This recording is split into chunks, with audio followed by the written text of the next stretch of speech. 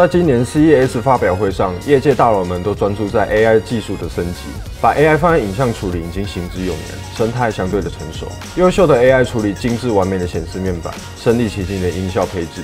这些条件好像都已经是现代人选择电视的标配。现在市面上大部分的电视显示器都满足以上的需求，无论是高亮度的 QLED 或者是高对比的 OLED，都有各自的信众支持。QLED 在高亮度的情况下会有光晕、颜色对比不明显的问题，看久了眼睛会疲劳。而 OLED 有相当优秀的色彩表现跟对比度，但是相对的亮度就没办法太高，会有一种画面暗暗的感觉。那么有没有一台电视是可以同时拥有 QLED 的高亮度、OLED 的高对比？今天就为大家带来阿布布独家的 LG OLED EVO G4 系列。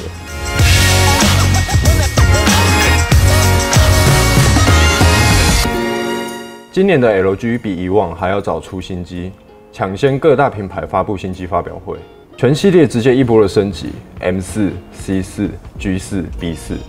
那今天的主角 G 四属于高阶电视定位，采用全新 Alpha 十一 AI 影音处理晶片。透过这块全新的晶片，让 AI 的自主学习更加快速，增强画质，加速画面处理，音质处理都有明显的提升。这带来 Alpha 十一会依照观赏喜好设定好你喜欢的清晰度、对比度以及色彩表现，让眼睛保持在最舒服的状态。峰值亮度提升到惊人的百分之一百五，HDR 演算更加自然，解决 OLED 亮度不够的问题。智慧增亮引擎会侦测环境光线，在不同的光源下控制亮度。呈现明亮又舒服的画面，AI 降噪跟 AI 超解析度的全面优化，对影像进行分类，然后去除这些杂讯噪点，再透过深度学习优化人脸和物体的画质，搭配上 OLED 真实黑色的表现，增强对比，让整体的画面看起来更加清晰、更生动立体。当然，也有些朋友喜欢最原汁原味的画面。今年 LG 加入 Filmmaker 制作人模式。这个模式保留了导演最初想呈现给影迷的画面色彩。各位想想，这样高阶的电视拿来玩游戏会是什么样的感觉？G4 相容了 G Sync 跟 FreeSync，N 卡 A 卡的玩家都可以开心的使用，解决荧幕撕裂的问题。在游玩三 A 大作跟 FPS 游戏都有非常棒的体验。荧幕刷新率是标准的一百二十赫兹。但在国外大神实测 VR 可变刷新率下，竟然可以来到惊人的一百四十四赫兹，大大的降低延迟的问题，带给玩家非常棒的游戏沉浸跟画面流畅度，爽度直接上天啊！各位老铁，最重要的是它可以直接设定游戏最佳化的模式，依据游戏类型和游戏的环境，立即提供理想的画面设置，不需要因为不同游戏来去做切换。如果玩家有自己喜欢的画面设定，当然都可以自定义编辑。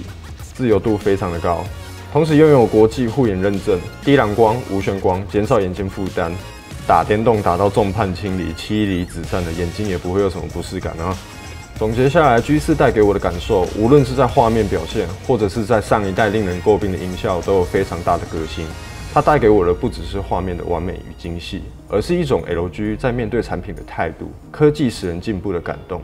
阿布布家电在新品发布的第一时间就跟 LG 官方拿到了这台 G4，在众小编努力的爆肝评测下，真的是无可挑剔，综合评分非常的高，大力推荐给各位观众朋友，赶快到我们阿布布的实体门市来体验这台 LG OLED EVO G4 带给你的感动。好的，以上就是这集的全部内容，喜欢的影片，请记得按赞、订阅、分享，并且开启小铃铛，第一手消息绝对不会错过。那我们下支影片再见。